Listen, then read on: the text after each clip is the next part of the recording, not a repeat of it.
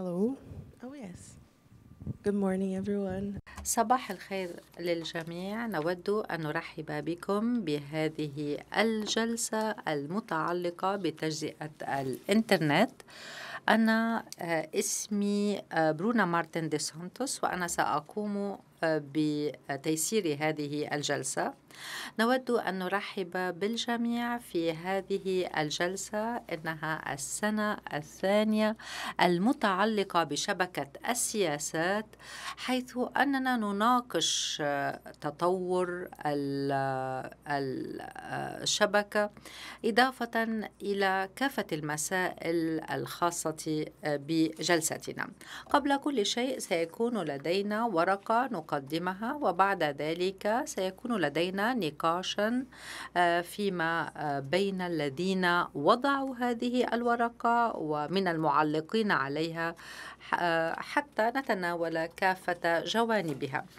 قبل كل شيء أود أن أنتهز هذه الفرصة حتى أشكر كافة المتطوعين في شبكة السياسات والذين عملوا على تجميع هذه الورقة وعرضها على الشاشات ونود أن نشكركم على كافة جهودكم آه، إذا آه، نعطي الكلمة أولا لولم بريت Thank you. And this is on. And as you see, we have a presentation. I think. كما نرى من العرض أعتقد بأنك أعطيت فكرة عامة عما سنتحدث عنه وأود أن أقدم نفسي أنا اسمي ويم ديجازيل وأنا كنت مسؤولا عن الأنشطة فيما بين الدورات لمنتدى حوكمة الإنترنت وأيضا قدمت المشورة للأمانة فيما يتعلق بهذه الشبكة شبكة السياسات. قبل كل شيء سأتحدث عن نشاطنا. نحن نشاط فيما بين الجلسات. أي أننا لا نعمل فقط في منتدى حوكمة الإنترنت بل نبدأ عملنا بوقت مبكر في مايو أيار.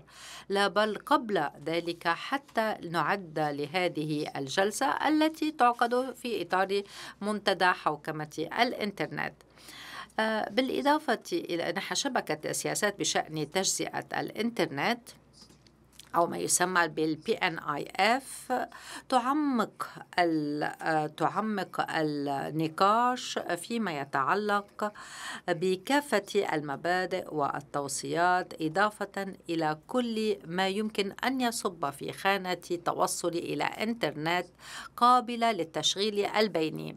كما قالت برونا هذه هي السنة الثانية لعمل شبكتنا شبكة سياسات بشأن تجزئة الإنترنت. وهدفنا هو أن نفهم ما هو المقصود بتجزئة الإنترنت حتى نأتي بإطار آه، يمكن أن يعرف تجزئة الإنترنت. ننظر في دراسات الحال حتى نحاول إيجاد آه، أمثلة عن تجزئة الإنترنت. وبعد ذلك آه، نحن ننتقل إلى مرحلة العمل. ما الذي يمكن أن نقوم به حتى نتفادى هذه التجزئة ما الذي قمنا به؟ آه، نحن إذا ما نظرنا إلى العام الماضي آه، عملنا كان قصده أن نخوض في تفاصيل هذه الأسئلة. وحاولنا أن نجد تعريفة لعملنا. نحن كان لدينا حلقات دراسية على الإنترنت ويبينارز آه، والتي آه، تضمنت أسئلة لحصر هذا المفهوم وما الذي يمكن أن نفعله بشأن تجزئة الإنترنت وكيف نقوم بذلك.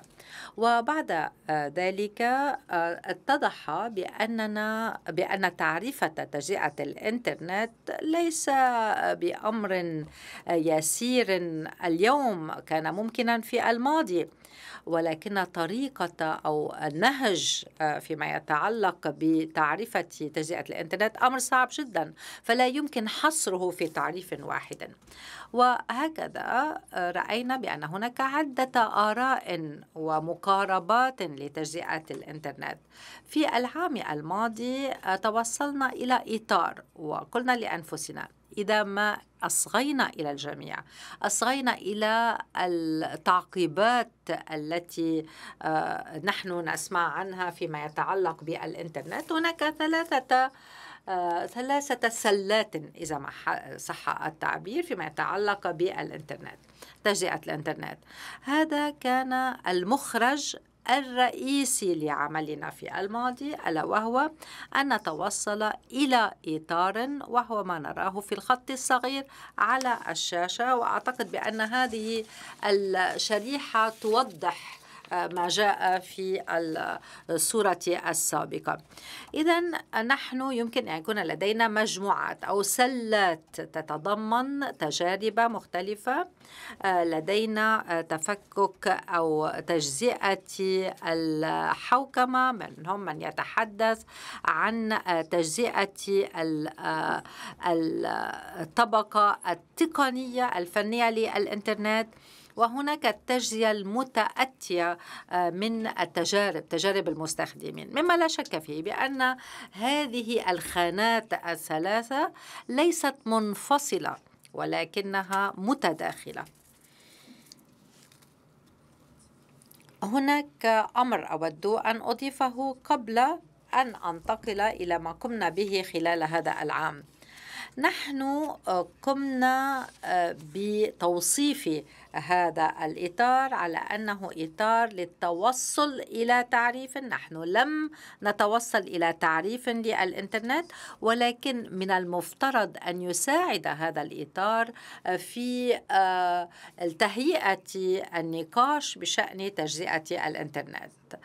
حسب التطورات رأينا بأن أن الجميع انتقلوا مما نحتاج إلى مناقشته إلى فهم ما هو مهم آه، بالنسبة إلينا كأصحاب مصلحة.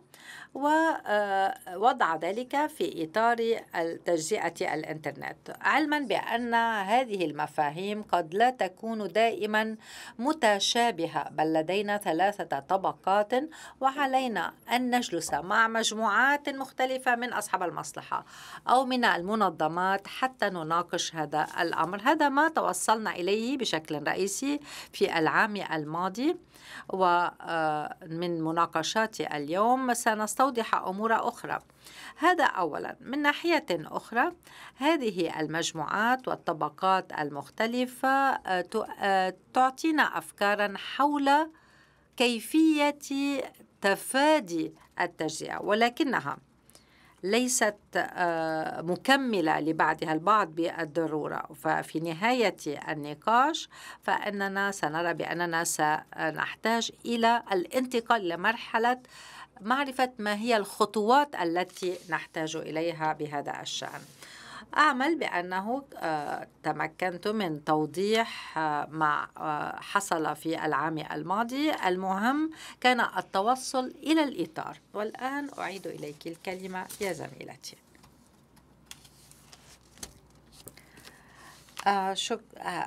شكرا. أنا يسعدني ويشرفني أن أكون معكم هنا حتى نتحدث عما آه، قمنا به خلال هذه السنة. آه، أعتقد بأنه آه، سيهمنا أن نسمع منكم. وما أن نسمع من المعاقبين على ما حصل آه، خلال هذه السنة. أنا يهمني أن أسمع رأيكم أنتم آه، في هذه القاعة. آه، وكما نرى من جدول الأعمال نحن سنتمنى منكم أن تعطونا آراءكم المتحدثة اسمها شيتال كومار. إذا نحن عملنا خلال على آه، إطار إطار يضع المفاهيم بشأن تجزئة الإنترنت وما يعتبر بأنه تجزئة الإنترنت على ضوء المناقشات التي أجريناها حول هذا الموضوع. والإطار الذي توصلنا إليه هو أداة تساعد في إلقاء الضوء وتوضيح على آه، تجزئة الإنترنت وتوضيح المقصود به. ونحن رأينا بأن هناك ثلاثة مجالات رئيسية فيما يتعلق بتجزئة الإنترنت. اولا الطبقة الفنية آه، ثانيا آه، تجربة المستخدم وثالثا حوكمة الإنترنت والتنسيق. وناقشنا الأولويات المتعلقة بكل من هذه المجالات الثلاثة وما هو مضر وما هو سلبي وما يجب القيام به. إذا توصيات فيما يتعلق بالتدابير الواجب اتخاذها ونحن نتطلع للإصغاء إلى آرائكم بهذا الشأن. هل تعتقدون بأن هذه التوصيات هي مفيدة أو لا؟ هل هناك أشياء ناقصة؟ هل تعتقدون بأن العناصر عناصر هذا الإطار هي ملائمة وهل أن التوصيات والأولويات متوائمة مع ما أنتم تحتاجون إليه؟ إذا ما سنفعله الآن هو أن نأخذ كل عنصر من عناصر الإطار ونلوج في تفاصيلها. أنا أشجعكم على الاطلاع على موقعنا الإلكتروني لشبكة السياسات بشأن تجزئة الإنترنت PNIF وفي الجزء الثاني من هذه الجلسة سنستغي إليكم لكي نرى ما الذي ما هو رأيكم بما سنعرضه عليكم اليوم. قبل كل شيء سيكون لدينا عرض لكل من العناصر. لدينا آه، قبل كل شيء آه، اعتراف آه، بفضل الذين كتبوا وصاغوا هذه هذا العرض. وسنسمع منهم حتى يقولوا لنا ما هي المخرجات الرئيسية آه، لعملهم ولا سيما بالنسبة للأولويات التي يجب أن آه، ننظر إليها. وبعد ذلك سيكون لدينا آه، تعليقا على ذلك. هذا ما سنفعله بشأن كل كل عنصر من العناصر. لن أطيل الكلام عليكم بل سأعطي الكلمة لروزالند كاني بيرتش وهي تعمل مع الحكومة الحكومة البريطانية في مجال الابتكار والتكنولوجيات وستحدثنا عن آه، عن حوكمة الإنترنت والتنسيق والتجزئة المتأتية عن ذلك. إذا ستعطينا فكرة عامة عن هذا الفصل آه، في إطارنا. آه، إذا هذا العنصر الخاص بتجزئة الإنترنت. شكرا شيتال. يسعدني أن أراكم جميعا معنا. هنا. برأيي أن هناك نقطة مهمة جدا. نحن نريد حوارا معكم. آه، لدينا آه، مما لا شك فيه آه، فريق خاص بتعدد أصحاب المصلحة. واستنتج بأن موضوع تجزئة الإنترنت هو موضوع معقد. سيهمنا أن نسمع منكم اليوم لكي يكون لدينا وجهة نظر أوسع بهذا الشأن. وسنعرف وسنسمع منكم عن التحديات التي ترافق آه، تجزئة الإنترنت. أنا سأعطيكم فكرة عما كتبناه في مسودة الفصل المتعلق بحوكمة الإنترنت والتنسيق. مما لا شك فيه بأنه آه، بأن التجزئة على مستوى الحوكمة تتعلق بالتفاعلات بين حوكمة الإنترنت عالميا وبين هيئات المعايير. وعندما لا لا تقوم هذه الهيئات بتنسيق العمل فيما بينها فيمكن أن يؤدي ذلك إلى التجزئة. وفي هذا يؤدي أيضا إلى قرارات لا تحظى بالإجماع آه، في أوساط مجتمع العالمي لأصحاب المصلحه إضافة إلى ذلك فإن هذا يمكن أن يؤثر على تجربة المستخدم على في المستوى الفني. إذا فنحن لدينا أفكار متعلقة بتجزئة الإنترنت على مستوى الحكومة. إضافة حوكمة عفوا. إضافة إلى ذلك هناك هيئات لديها لديها مهمة أن تنظر في العناصر المختلفة. يمكن أن يؤدي ذلك إلى لغط آه، فيما يتعلق بالعمل والمفاهيم آه، وتضارب فيما بين قد آه، تفهمه كل من الهيئات.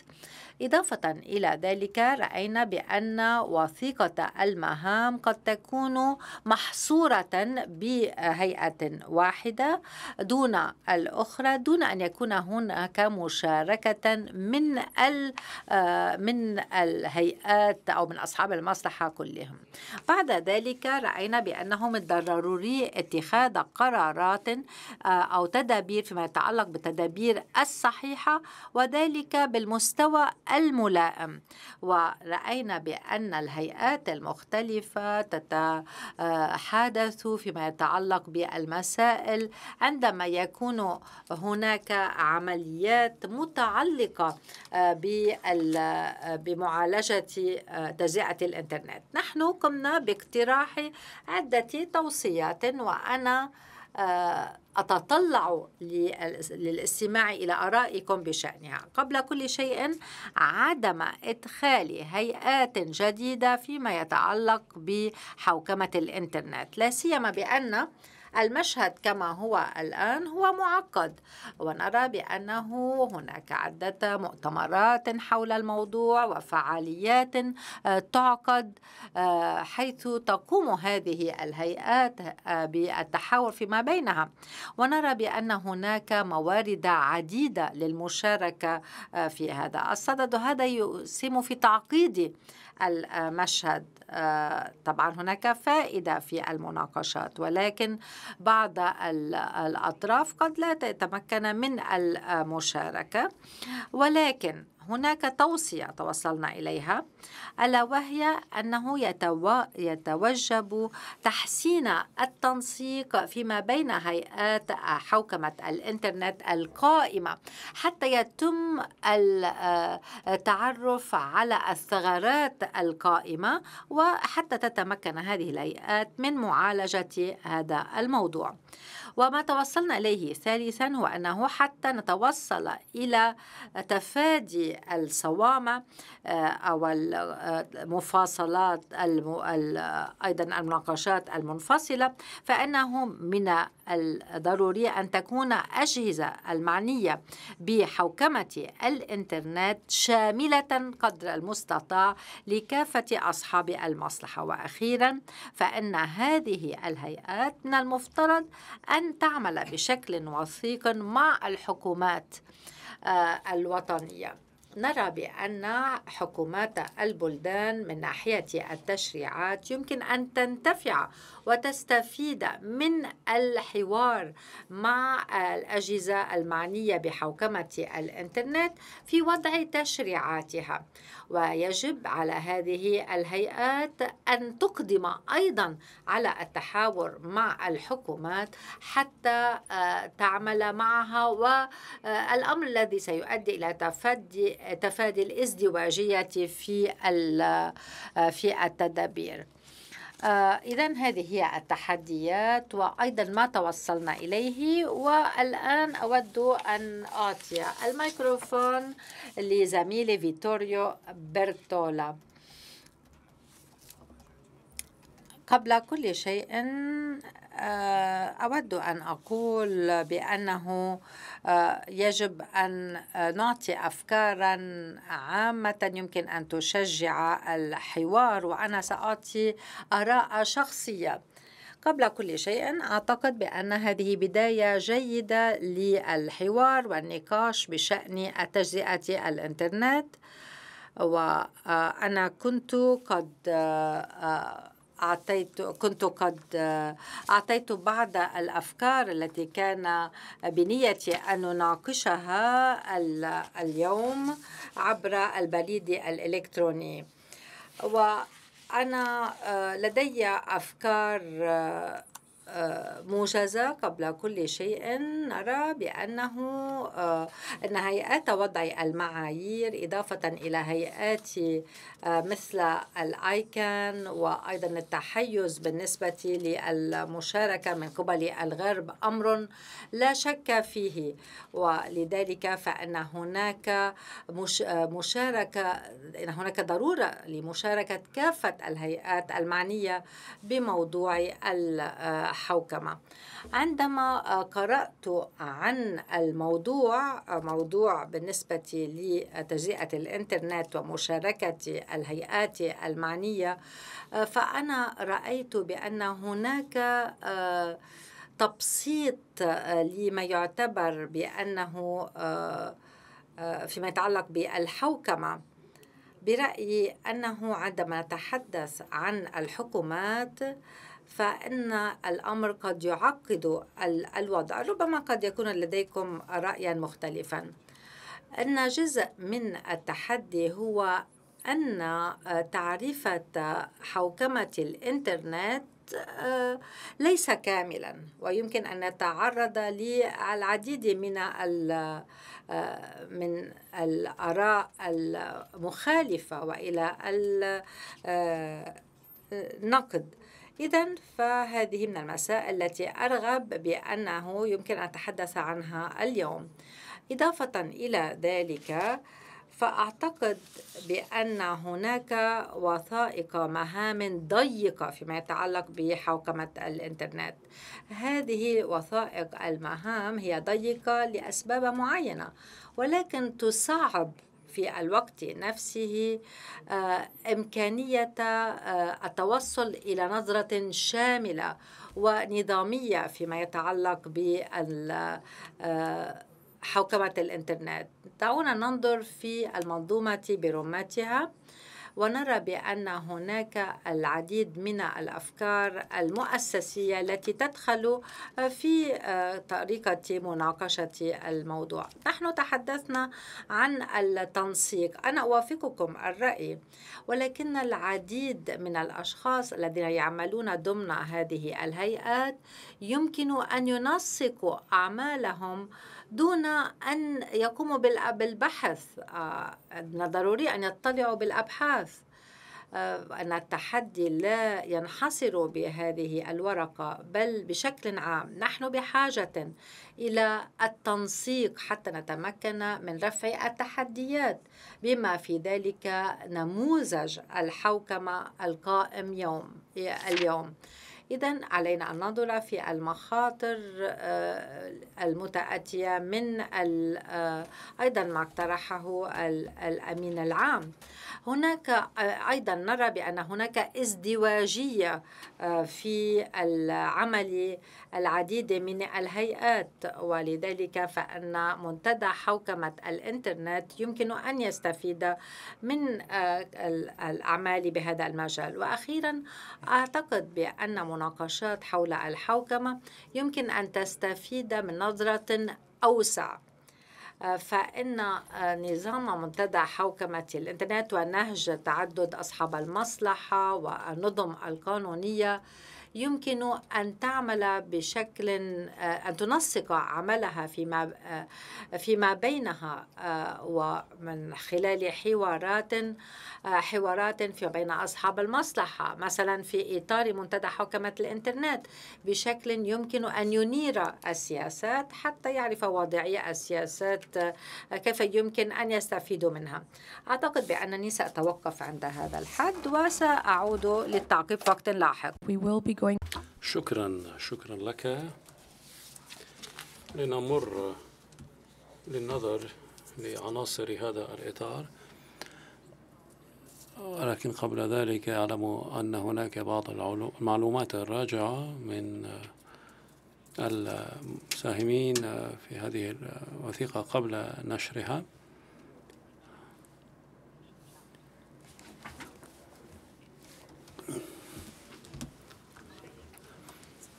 وهذه المعلومات كانت تتعلق بتوفير أمثلة حية عن طريقة تجزؤ الإنترنت وما يعاني منه في الوقت الراهن.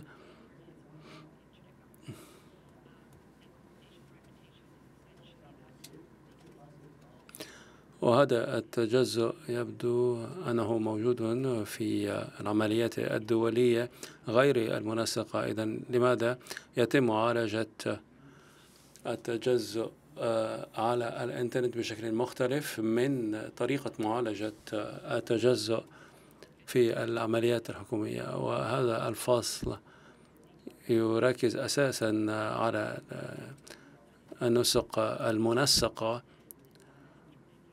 والمتعددة. وجوردن تحدثت عن أهمية ضمان التماسك والتناغم أو على الأقل الالتزام بالتنسيق.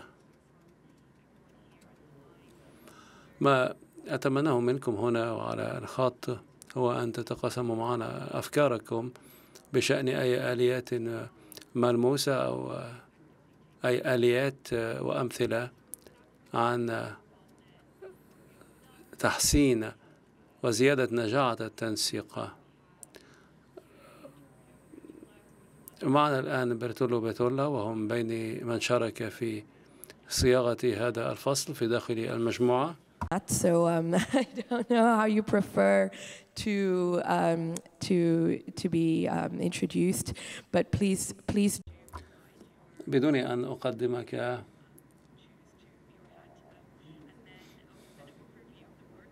هل لك أن تعطينا لمحة عن العمل الذي قدمتم هذه السنة من أجل تقييم الأولويات وكيف قمتم بقياس مستوى التجزؤ that you put forward. It's a very hefty chapter. هذا الفصل فصل من بين أضخم فصول وثيقة النقاش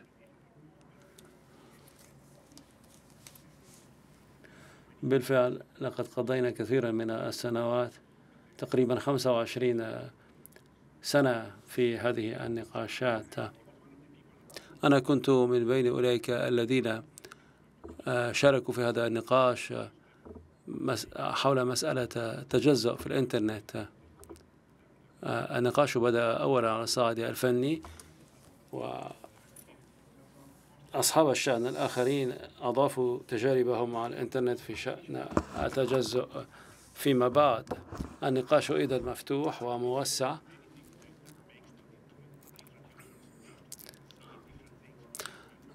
وهذا يعني ما معنى التجزأ؟ التجزأ هو أن تجربة المستخدم والمستخدمين للإنترنت مختلفة حسب ما يبحثون عنه في الإنترنت وهذا هو أصل في النقاش الخاص بمعرفة حالة التجزأ في الإنترنت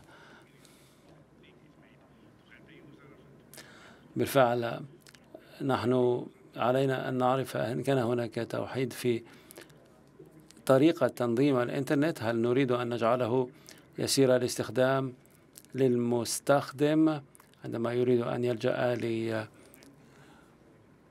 لخدمات أو إن كان يواجه عراقيل أو تصعب عليه إيجاد المعلومات وهنا نعرف ما هي التأثيرات السلبية لهذا التجزؤ.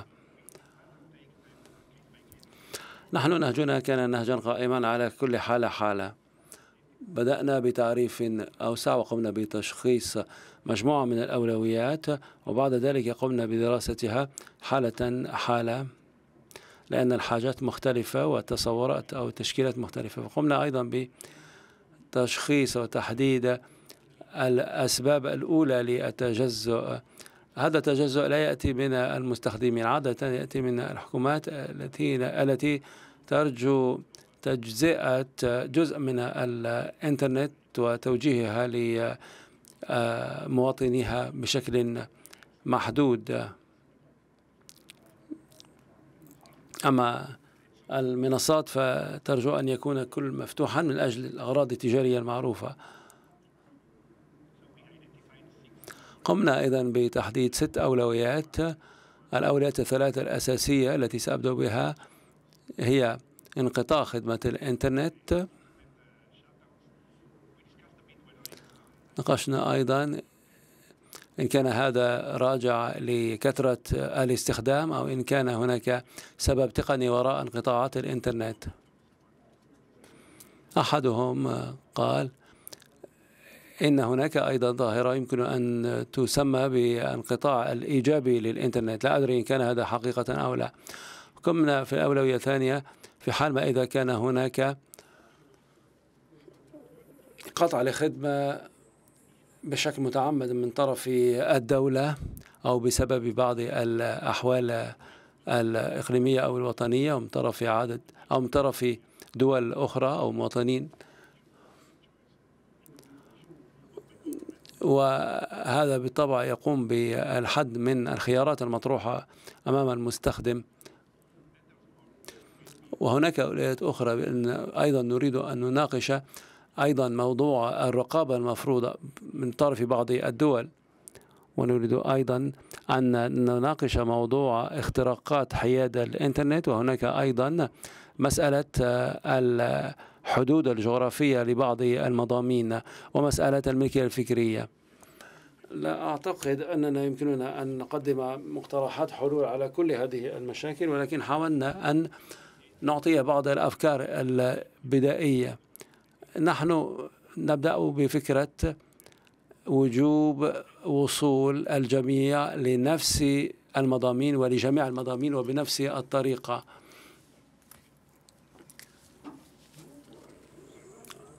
أما إن كان المستخدم هو الذي يريد أن يكون هناك اختلاف في طريقة الوصول فهذا لا يشكل عائقا في هذه الحالة.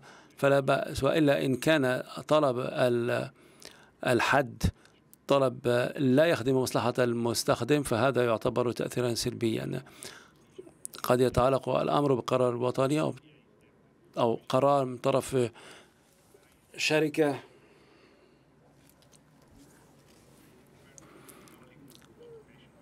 وقد تكون هناك بعض القوانين المحلية التي تنقص فيها المواءمة والتي لا تخدم الحاجات الوطنية ثم هناك مبدأ آخر هو في آخر المطاف ينبغي دائما أن يكون هناك اختيار حر ينبغي أن يكون المرء قادرا على استخدام الإنترنت بشكل حر اللهم إن كانت هناك أسباب حقيقية تمنع من ذلك ولكن ينبغي دائما أن نضع ثقتنا في المستخدم أنه سيستخدم الإنترنت بنية حسنة شكرا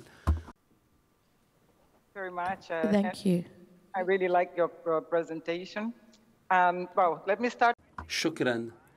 مرحبا بكم. اسمي ماريا أوليفيرا وأنا مديرة الاشتمال الرقمي والتحول الرقمي في اليونسكو. وعملنا في مجال مكافحة تجزؤ الإنترنت هام جدا بالنسبة إلينا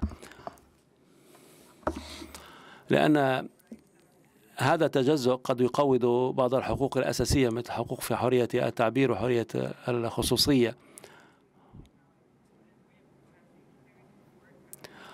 أريد بالطبع أن أهنئ بداية شيتال كومار وفيم ديجيزيل الذين عملوا جاهدين خلال الأعوام القادمة من أجل آه، توضيح الصورة فيما يتعلق بتشتت أو تجزؤ الإنترنت. هناك جانب إيجابي لهذا التجزؤ وجانب سلبي لهذا التجزؤ ووثيقة النقاش هذه تخص أساسا الجانب السلبي. أي كيف تشكل هذه الآليات؟ عراقيل تعزل المستخدمين عن بيئة معلوماتية لا يستطيعون تجنبها وعاقبة ذلك هو ضرر على المستخدم.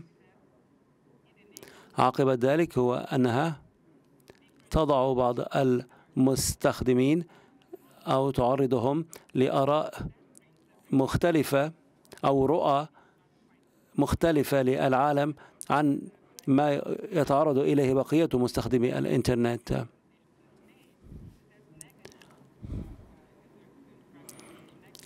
وتجربة استخدام الإنترنت السلبية بعد تجزؤ الإنترنت تؤثر ليس على جزء واحد من أو جزء خاص من المستخدمين تؤثر على جميع مستخدمي الإنترنت. بعض المستخدمين يعتبرون مقصون من حق نفاذ المعلومات وحرية التعبير وحقوق أخرى. من جراء هذا التجزؤ كما أن بعض هؤلاء المستخدمين يحرمون من حقهم في التجمع الحر مع مستخدمين آخرين واستحصال معلومات منهم.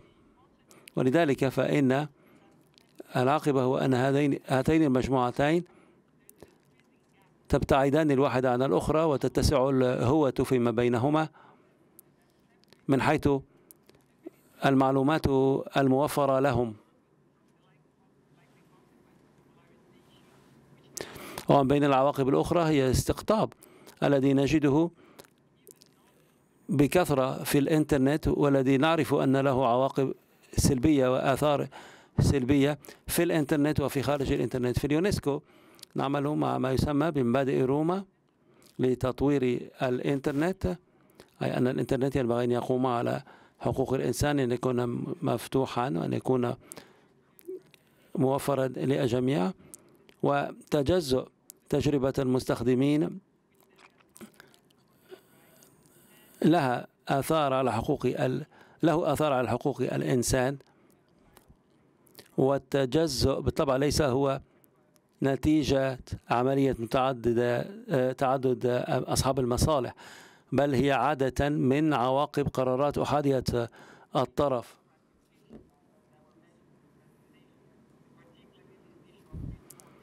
وبطبع التجزؤ له أثر على حرية الاختيار وعلى إمكانية نفاذ المعلومات وإلى تجربة المستخدم. والوثيقة في الواقع حصلت على عدد من التعقيبات من بينها مثلا أن تجربة المستخدم ينبغي أن تقوم أساسا وبشكل حصري على مبادئ حقوق الإنسان.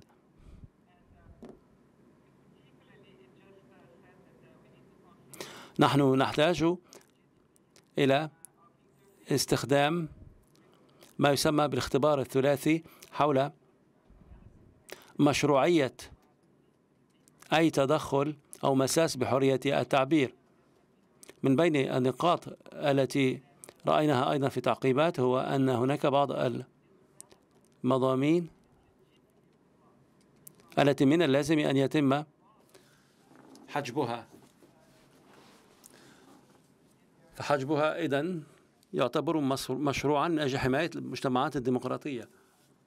مثل مثلا مواقع دعارة الأطفال والاستخدام الجنسي للأطفال ومواقع الإرهاب ومضامين الحث والتحريض على العنف إلى آخره من هذا النوع من المضامين. وبالطبع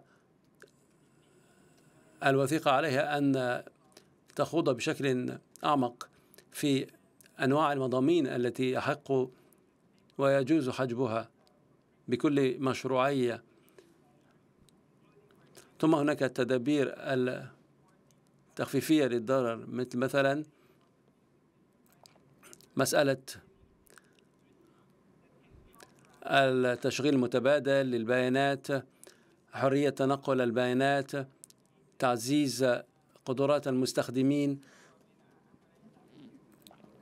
إلى آخره من أمور ومكافحة التضليل مكافحة التغليط على كل هذا هو رأيي فيما يتعلق بهذا الفصل من الوثيقة وشكرا لكم شكرا لك. يبدو أن رأيك إيجابي فيما يتعلق بهذا الفصل. وشكرا لك على أعطاء صدى لبعض المعلومات التي أتتنا من من قدم تعليقاته. هناك أيضا معلومات رجعة من أولئك الحاضرين معنا على الخط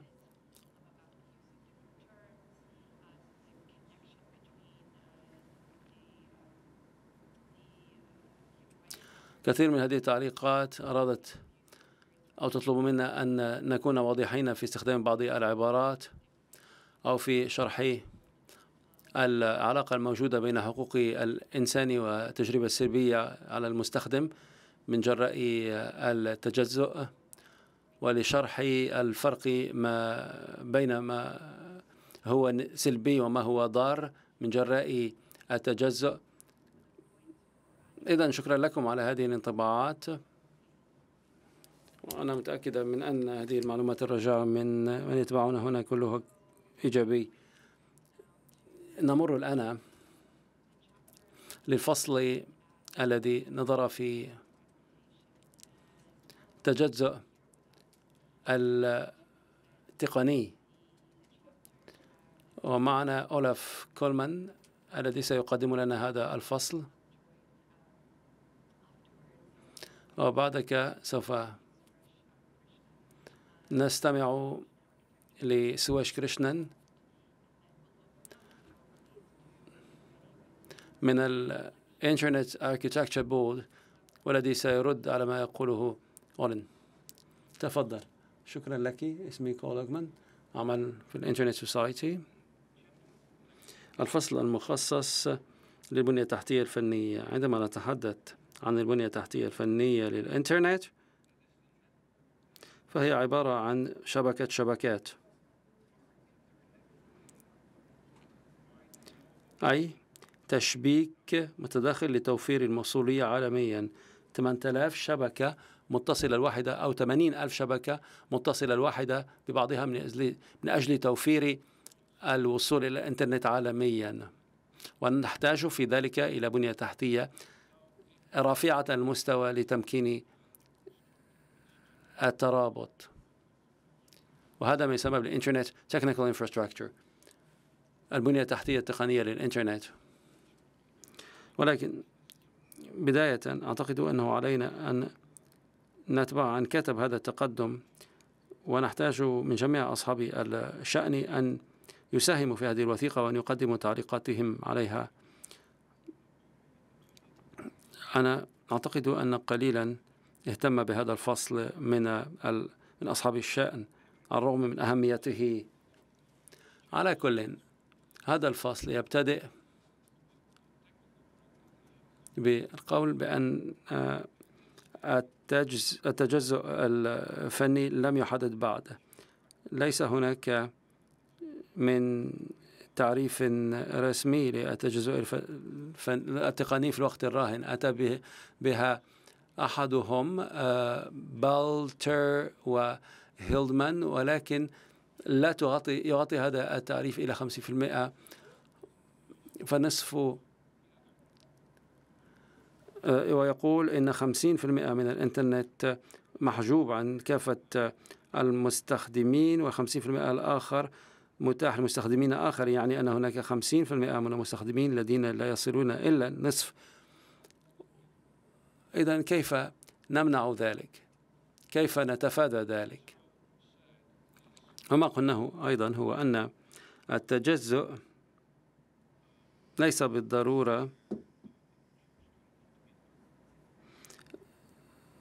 متعلق بالموضوعات والحقول والميادين التي لا يرجو فيها الناس التدخل. فمثلا شبكتي الداخلية في المنزل لا أريد أن تكون في الإنترنت مباشرة هذا اختياري أنا. يوم أمس أحدهم قال إن هناك تجزؤ إيجابي وتجزؤ سلبي. أنا أحب هذه الفكرة في الواقع. اللامركزية ليست مرادفة للتجزؤ. قلة الموصولية المتعمدة ليست تجزؤا و آه، إعادة توجيه تدفق المعلومات على الإنترنت المؤقتة ليست تجزؤا إذا ما هو التجزؤ؟ كيف نحدد معنى التجزؤ؟ هذه مسألة صعبة النهج الذي اتخذناه هو استخدام بعض المواصفات الحرجة لأحد الأطر التي طورها الإنترنت سوسايتي والتي تحدد بشكل عام المواصفات الحرجة العامة للإنترنت بشكل غير فني. لن أخوض في التفاصيل بالطبع ولكن هذا من بين الأطر الذي يخبرنا بأنه إن فقدنا هذه المواصفات المميزات الحرجة وإن ابتعدنا عنها بشكل تدريجي فإننا نجازف ونقترب شيئا فشيئا من خطر التجزؤ. وهناك إطار آخر بعنوان Public Core وهو إطار أعد من طرف فريق فكري في الأراضي المنخفضة هولندا. والذي تم تحديده من طرف ال Global Commission of the Stability of Cyberspace اللجنة العالمية لاستقرار الفضاء السيبراني. هذا ال public core هو من بين أيضا المسببات المحتملة للتجزؤ ومن بين الأمور الأخرى التي قمنا بها في هذه الوثيقة هو أننا باستخدام هذا النوع من الأطر غير التقنية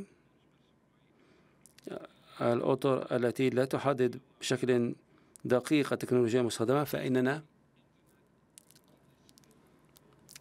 نمنح فرصة للتطور لأن الإنترنت في تطور. لا يمكننا أن نكلس الإنترنت في حالته الراهنة. علينا أن نتركه أو نمنحه فرصة التقدم والتطور. جانب آخر من جوانب التجزؤ الذي درسنا هو ما يسمى ب the evolution of the edge. أي أن هناك تغيير كبير فيما يتعلق بسلوكيات إعادة التوجيه. شركات خاصة تبني شبكات خاصة بها عوض استخدام جسور نقل معلومات للاقتراب من المستخدم. وهذا قد يؤدي إلى تجزؤ أو إلى زيادة الهوة الرقمية أي أن يكون هناك مستخدمون قريبون من تلك البنية التحتية وآخرون بعيدون عنها ومبعدون عنها. فقد يكون لنفس لمستخدمين لنفس البنية التحتية تجربة إيجابية وآخرين قد يكون لهم في نفس البنية التحتية تجربة سلبية.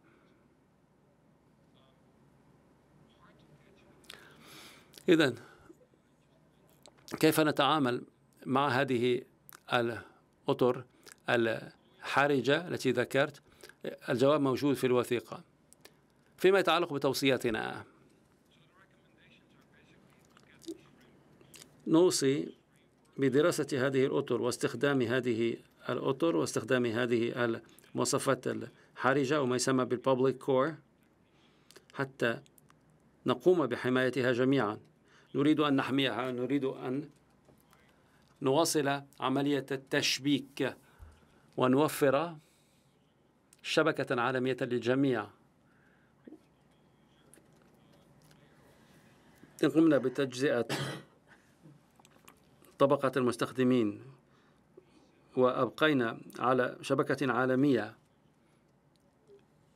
تجمع فيما بيننا فلا زالت هناك فرصة ولا زال هناك حظ لمنع التجزؤ. على مستوى المستخدمين. لكن آه، بمجرد حصول التجزؤ فإن البنية التحتية التقنية للإنترنت سوف تعاني وسوف ينعكس ذلك مباشرة على الفضاء الباقي للمستخدم. ولذلك علينا أن نحمي المستخدم من ذلك. هناك حلول قليلة تمكن من فهم طريقة نشر هذا التجزؤ. وهناك وسائل قياس قليلة تمكن من تقفي ذلك لمعرفة ما مدى تطور ظاهرة التجزؤ.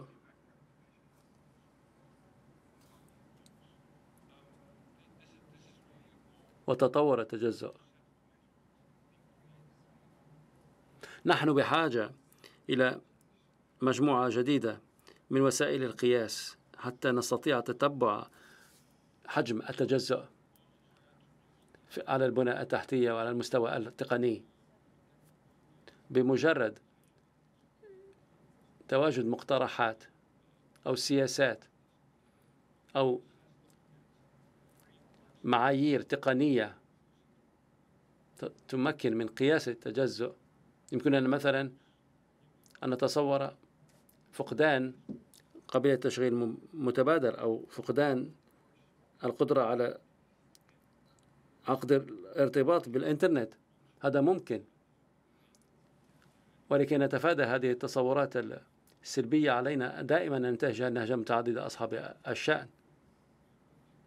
فالقطاع الخاص هو الذي يطور هذه البنى التحتية ويطور هذه التكنولوجيات الجماعات التقنية والحكومات. هي التي يقع عليها واجب ضمان بقاء وديمومة الارتباط. حتى لا يتم تجزئة وتقسيم هذه الشبكات. هذه خلاصتي. معنا الآن سوفيش على الخط. شكرا شكرا جزيلا. شكرا على هذا الملخص الممتاز. سأتحدث عن بعض النقاط الأهم حسب ما يبدو لي.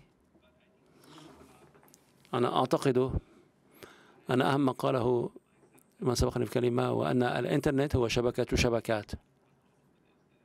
ولا أدري إن كان هناك نقطة مراقبة واحدة تمكن من حفظ أو حماية الإنترنت.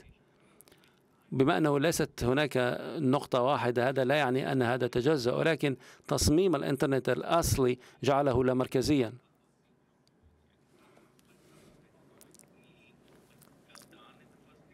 قابلية التشغيل المتبادل كانت مسألة إيجابية في البداية.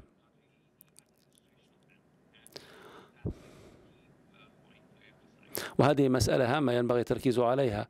المسألة الثانية فيما يتعلق بمواصفات الحرجة للإنترنت. ثم هناك أيضا مسألة النشر التدريجي للبرمجيات.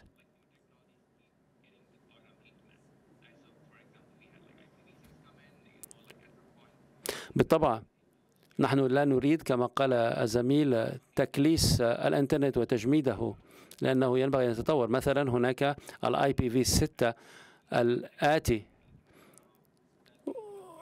وهناك أربع ملايين من الناس على الإنترنت يستفيدون في الوقت الراهن من هذا المعيار. IPv6 إذا كيف يمكننا نشره؟ من أجل أن يستفيد منه الجميع ينبغي أن يكون هناك تطور لانفتاحية الإنترنت وينبغي أن تكون هناك بنية تحتية للموصولية. ثم هناك التنظيم الطبقي للإنترنت وهو مبدأ بناء الإنترنت. طبقة فوق طبقة.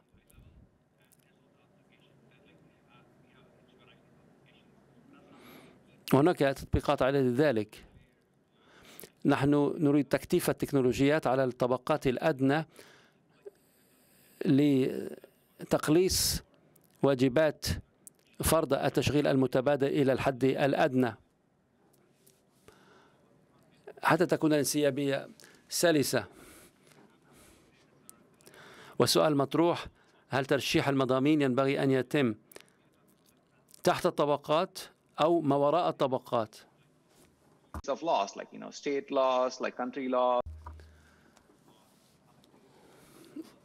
وبالطبع هذا يتطلب التنسيق فيما بين القوانين قوانين القطرية قوانين المحلية على اختلافها في العالم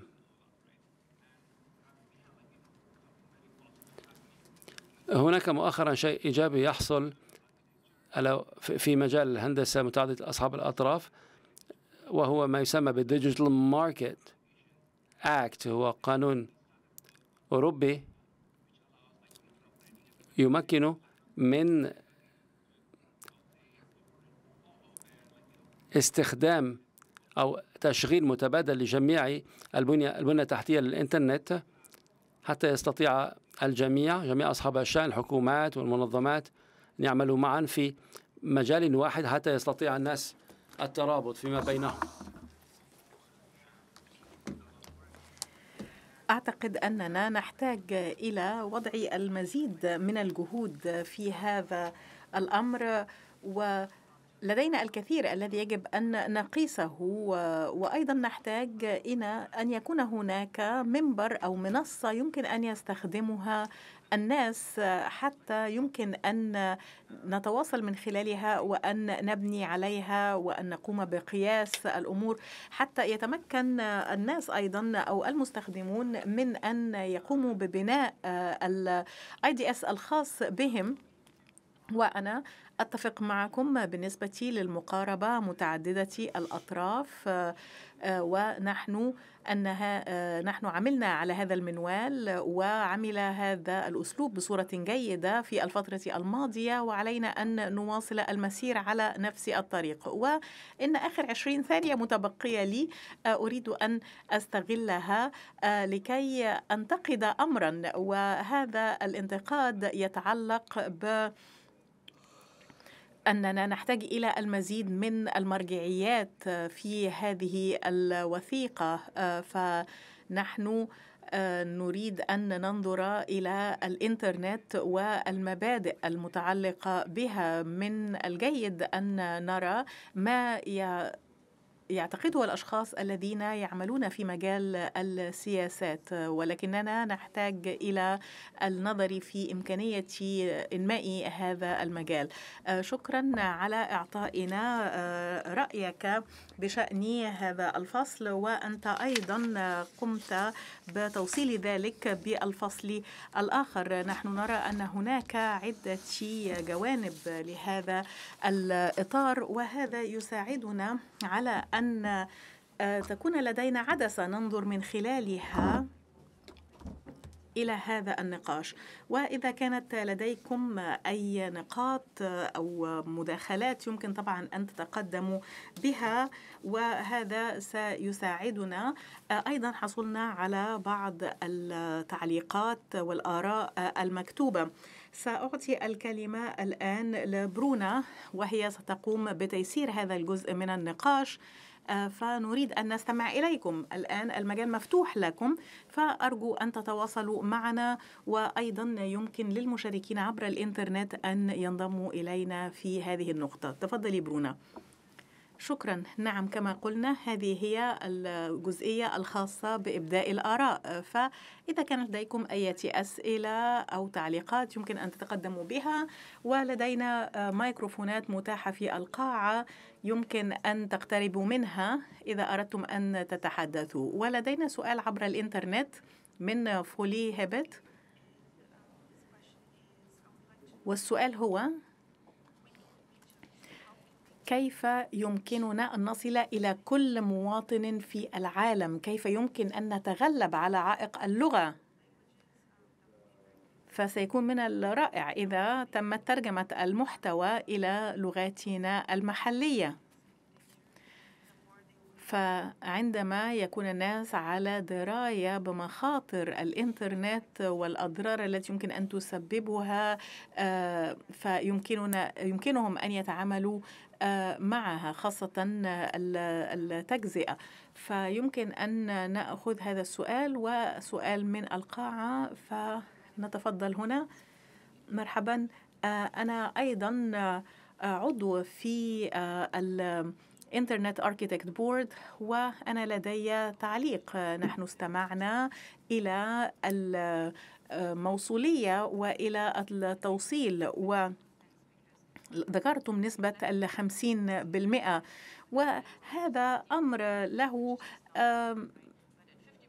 معنى لأنه آه، إذا أخذنا هذه النسبة فلدينا مجال آخر أو تتبقى لدينا الخمسين بالمئة الأخرى. آه، وأعتقد أنه ليس من الممكن أن نصل إلى إنترنت واحد في هذه الحالة. هذه مسألة حسابية. فما أردت قوله أن الأمر لا يتعلق فقط بالتوصيل ولكنه يتعلق أيضا بالقدرة على الابتكار وإشراك الإنترنت وجعلها تتطور. فإذا وضعنا العوائق الآن لا يمكننا أن نقوم باستحداث بروتوكولات.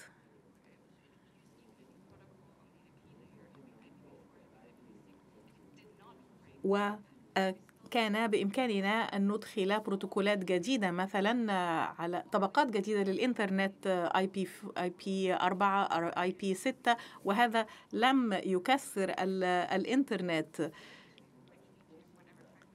فإذا وضعنا العوائق لن يمكننا أن نحقق التطور في الإنترنت الذي نصبو إليه لن نتمكن من أن نتأقلم أو نجعل الإنترنت أكثر أمنا أو أكثر مرونة أو أكثر سرعة. وفي هذه الحالة سنكون في مأزق. وإن كل هذه الفوائد التي نحصل عليها من الإنترنت لها أثر طبعا على المجتمع وعلى الاقتصاد. فإن هذا التواصل فيما بيننا هو أمر هام. أنا أود أن أشكركم على هذه الجلسة لأنكم أعطيتمونا منظورا جديدا عن تقسيم الإنترنت أو تجزئة الإنترنت وتفتيتها. وطبعا نحن لدينا ثلاث جوانب لدينا خبرة المستخدم لدينا السياسات والإجراءات ولدينا الجزء الفني. فنحن نريد أن نفهم هذا الموضوع بصورة أفضل. نحن لا نريد للإنترنت أن تتجزأ أو أن تتفتت. تتفتت ولكن لدينا شاغل وهو أن المناطق الجغرافية وفي بعض الأحيان في الدول فإن هناك سياسات أو معاهدات أو التزامات تعكس مصالح هذا الجزء من العالم. مصالح اقتصادية كانت أو اجتماعية.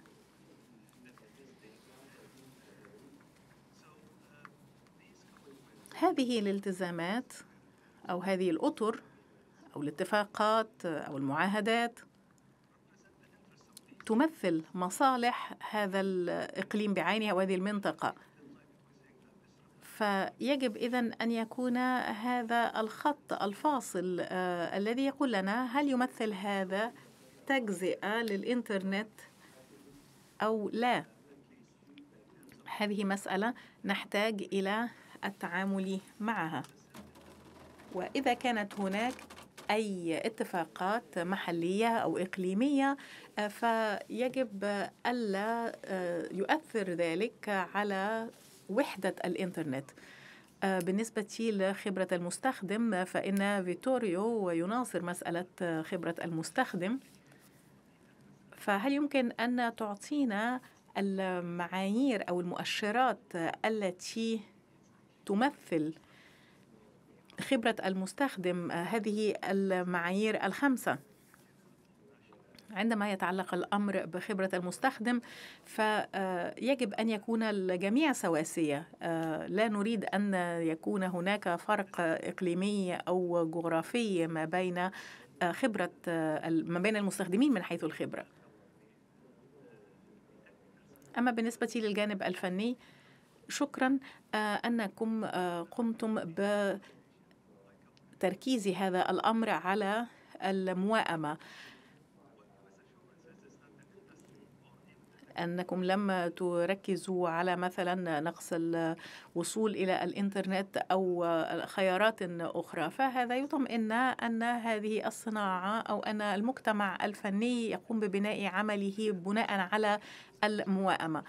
ولكن هذا يعيدنا مرة أخرى إلى خبرة المستخدم إذا كنا نتحدث عن الانقسام الرقمي.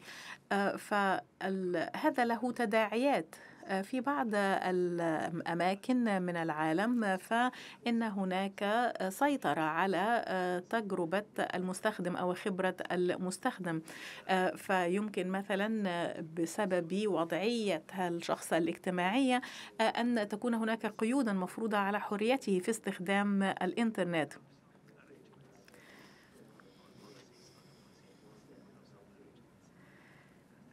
ف نحن لدينا هذه الترتيبات بالنسبة للسياسات والإجراءات وأيضا بعض الترتيبات المتعلقة بالجانب الفني ونحن نريد أن نعرف ما هو الجانب من خبرة المستخدم الذي يعتبر الأهم بالنسبة لكم الجانب الفني أم الجانب السياساتي؟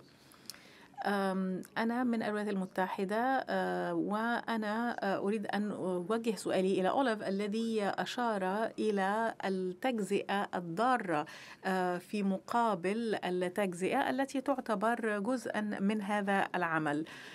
وأنا أريد أن أعلق على منطقة رمادية نحن ننظر إلى التجزئة الضارة على أنها مثلا على سبيل المثال أن يقوم أحد مقدمي الخدمة بإيقاف إمكانية وصول أحد المنافسين إلى أجزاء معينة من الإنترنت. فأنا تحدثت مع أحد الزملاء الذي يعمل مع ميتا وذكرنا أن فيسبوك يمكن أن يؤدي إلى التجزئة لأنه يقوم بحجب جزء من المحتوى عن بعض المشاركين أو بعض المستخدمين.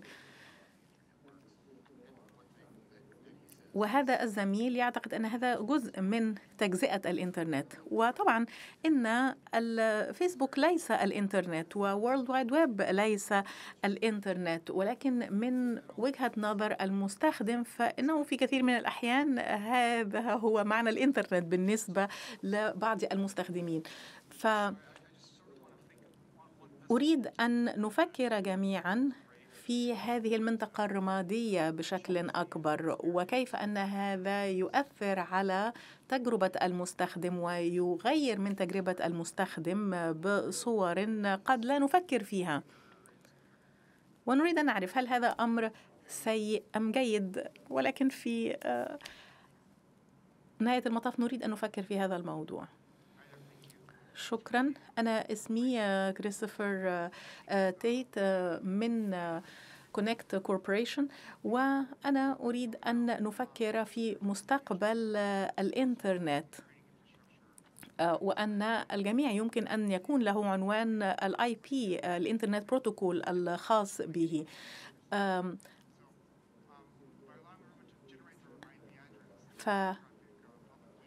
فمثلا يمكن أن نعطي للجميع عنوان لل IP لمن يريد أن يكون له مثل هذا العنوان.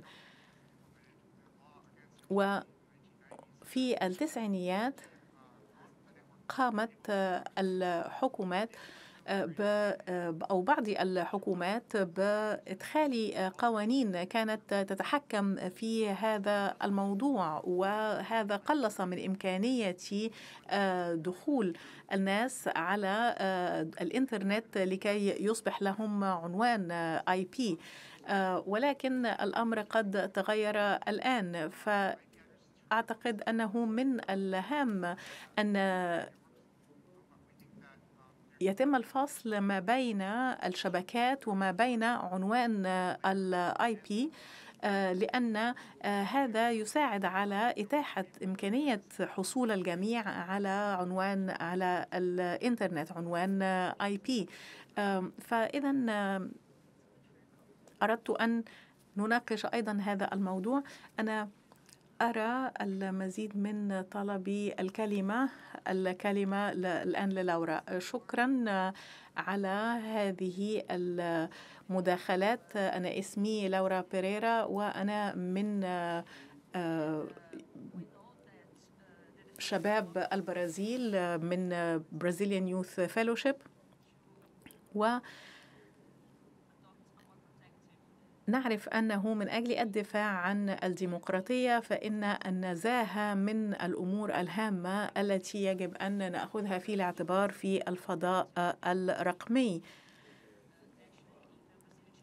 وفي البرازيل قمنا بعمل بعض الاختبارات المتعلقة بخبرة المستخدم. ونحن أشرنا إلى المخاطر الخاصة بتنظيم الإنترنت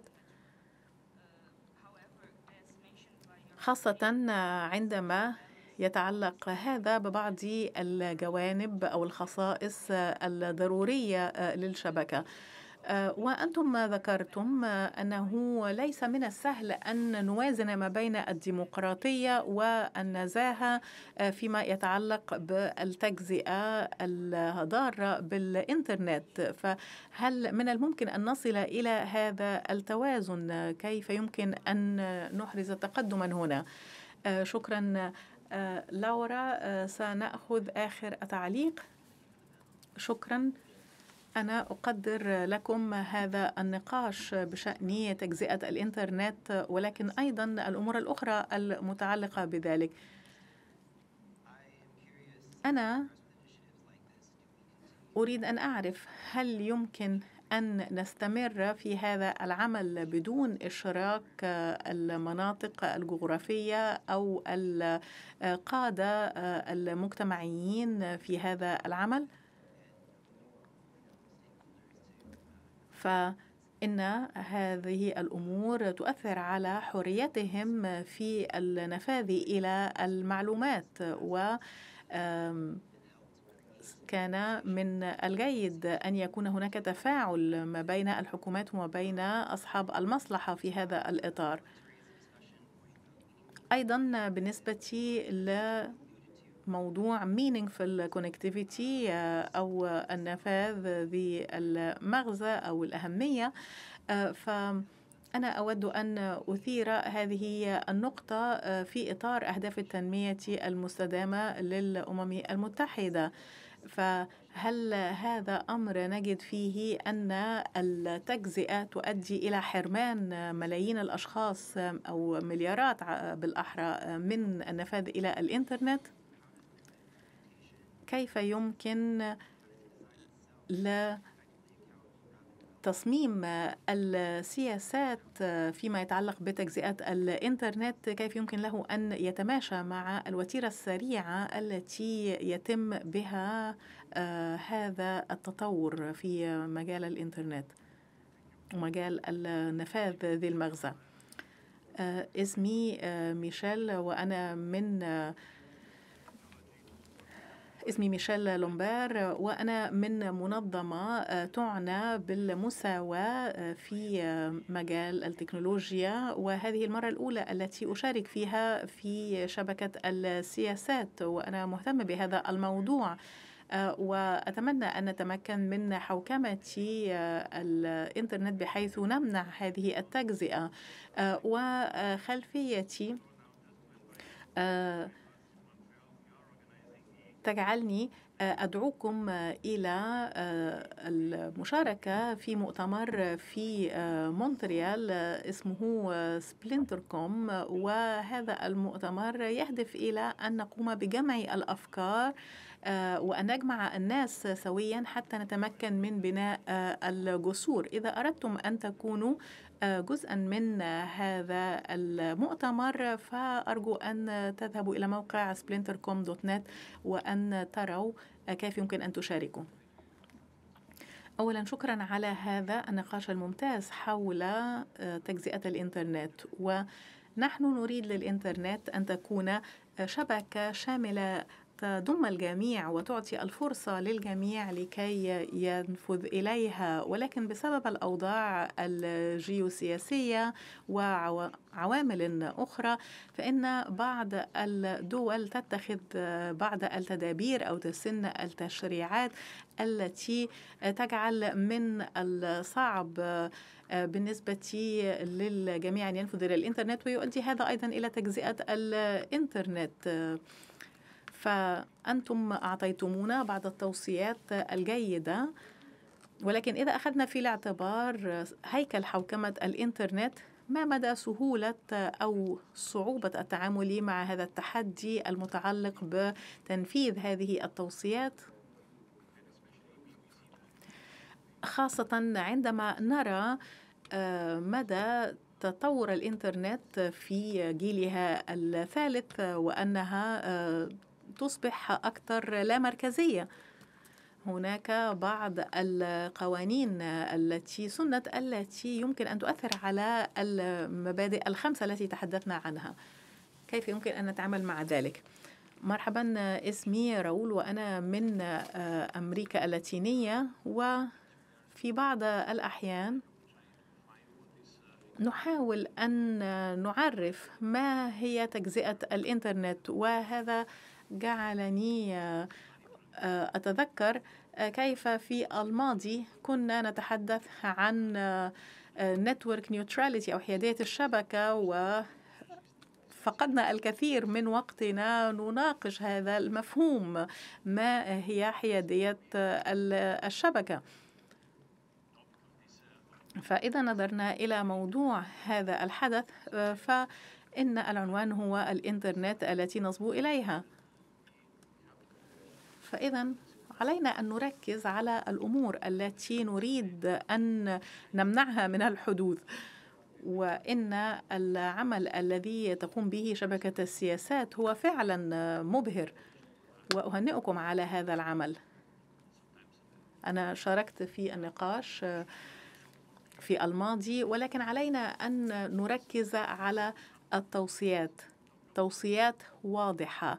مثلا بالنسبة للحكومات لا تقوم باعتماد سياسات التي تخلق تجارب مختلفة للمستخدمين في نفس البلد. لا تقوم مثلا بإيقاف آه، الوصول إلى الإنترنت. هذه هي الأمور التي نريد أن نوصي بها.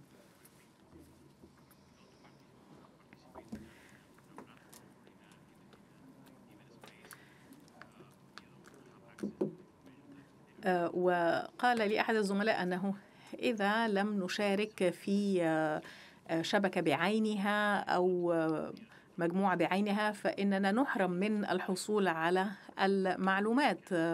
آه، وفي بعض الأحيان أجد أن بعض الأشخاص مثلا يريدون شراء شيئا من أمازون إلى آخره ولكن لا يمكنه أن يفعلوا ذلك.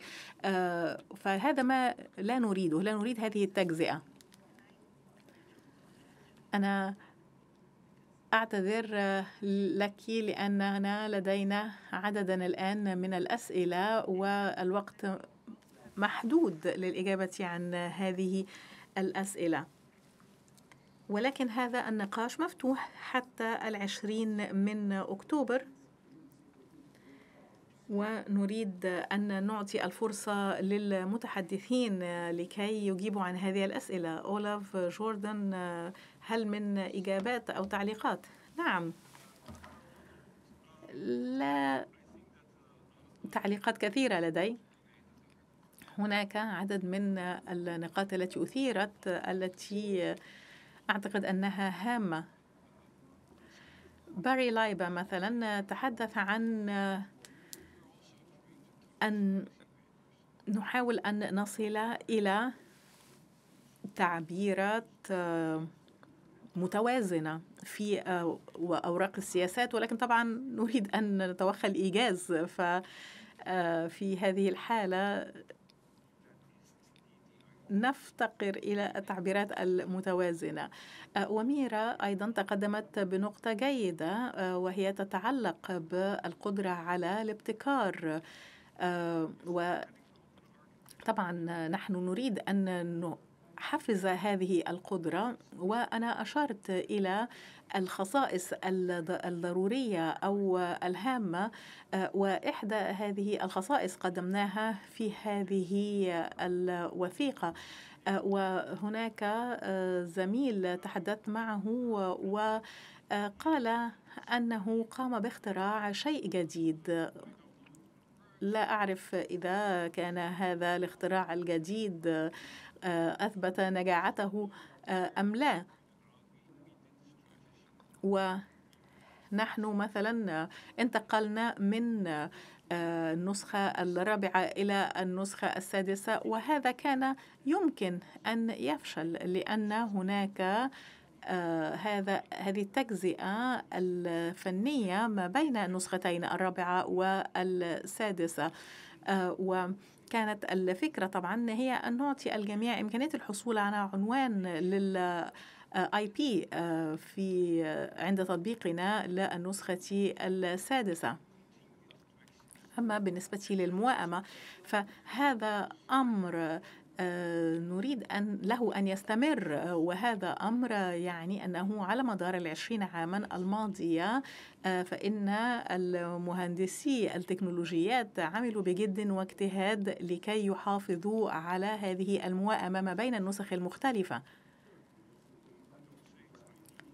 فالنسخة الهامة هنا هي أنه علينا أن نحافظ على القواسم المشتركة في البروتوكولات. فإذا يجب أن نحافظ على هذه المسألة مع تطور الإنترنت. وأخيرا هناك تعليق كان يتعلق بالنفاذ ذي المغزى أو المعنى. عندما تحدثت عن هذا الموضوع في الوثيقة فالفكرة هي أن يكون هناك نفاذ ذي مغزى. إذا تطورت الإنترنت بحيث تكون متاحة لأشخاص وغير متاحة لأشخاص آخرين فهذا يعني أن التجزئة قد حدثت. أيضا إذا كانت التكلفة أيضا تمنع الوصول فأيضا هذا نوع من أنواع التجزئة. وطبعا فنحن لدينا هذه التجزئة من حيث خبرة المستخدم لأن هناك أشخاص لا يمكنهم أن ينفذوا إلى الإنترنت بسبب عدم قدرتهم على دفع التكلفة المتعلقة بذلك. شكرا أولاف.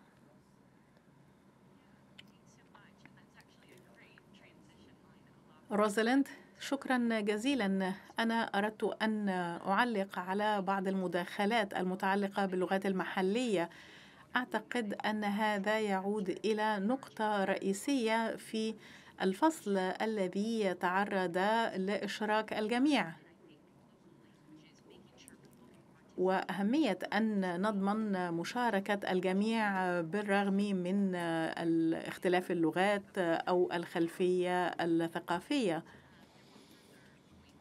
كانت هناك أيضا نقاط تتعلق بسياقات محلية أو إقليمية. أنا أريد أن أسلط الضوء على المبادرات المحلية والإقليمية الخاصة بمنتدى حوكمة الإنترنت في هذا الصدد. فهذه مساحات تمكن الناس من أن يتحدثوا عن السياق المحلي والأمور الإقليمية. فمن الجيد أن يكون هناك تنسيق ما بين كيانات حوكمة الإنترنت المختلفة. فليس من الكافي أن يكون هناك مساحات إقليمية. أنا مثلا كنت محظوظة أن تمكنت من حضور اجتماع للمنتدى في أفريقيا. كانت هذه فرصة رائعة لكي ننظر إلى المنظور الأفريقي.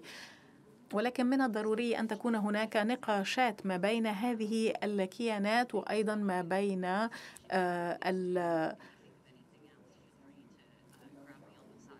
الأقاليم والمناطق المختلفة. وطبعا أنا متواجدة يمكن أن تتحدثوا معي إذا كانت لكم مداخلات. طبعا ما من إمكانية لدي يقول بيرت أن أعلق على كل شيء ولكن سأتحدث عن خبرة المستخدم.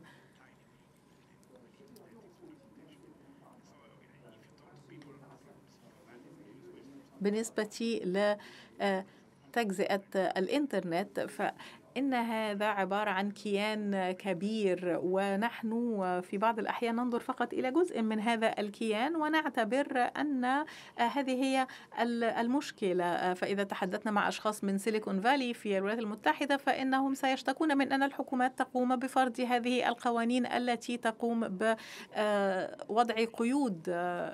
وفي أوروبا المنظور آه، مختلف. آه، ولكن ما نراه الآن هو هذا التناقض ما بين الحلم الأصلي وهو أن يكون العالم بدون حدود ومترابط ببعضه البعض والحقيقة وهي أن هناك اختلاف في القيم وفي المصالح وفي الاقتصادات وحتى في اللغة. فنحن علينا أن نعمل على الحفاظ على آه هذه الأمور التي تهم تهم الناس وأن نعطيهم الفرصة لكي ينفذوا إلى الإنترنت. ولكن آه في نفس الوقت علينا أن نتفادى آه تجزئة الإنترنت. شكرا جزيلا وأعتذر لأنه ما من لدينا ما من فرصة لدينا آه، لكي آه، نعطيكم المجال للإجابة على هذه التعليقات. ولكن يمكن أن تتفاعلوا معنا عبر البريد الإلكتروني أو يمكن أن تتحدثوا معنا بعد انتهاء هذه الجلسة. ولدينا حد أقصى للتقدم بالتعليقات وهو العشرين من أكتوبر تشرين الأول. آه، وما سأفعله الآن هو أن أحاول أن ألخص هذا النقاش.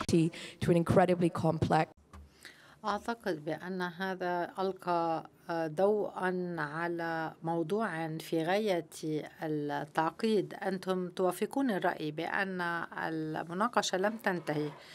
فإنه عمل في طور التقدم على غرار طبيعة الإنترنت. آه، رافقونا في هذا العمل. آه، وأود أن أشكركم جميعا على مشاركتكم. من آه، أصحاب العرض إلى من قام بصياغته وأعضاء الشبكة الذين تطوعوا بوقتهم من أجل عرض هذه الورقة الرجاء أن تتابعوا النقاش معنا سواء هنا في إطار منتدى حوكمة الإنترنت أو من خلال منصة أخرى هل فاتني شيء؟ هل ربما هل يمكن أن نعود إلى الشريحة التي تحمل البريد الإلكترو عنوان الإلكتروني؟ كما ترون فعلى صفحة ال PNIF شبكة سياسات بشأن تجزئة الإنترنت لديكم آه، آه، هذا العنوان والذي سيسمح لكم بالإبداء بآرائكم عن طريق إرسالها إلينا. شكرا للجميع.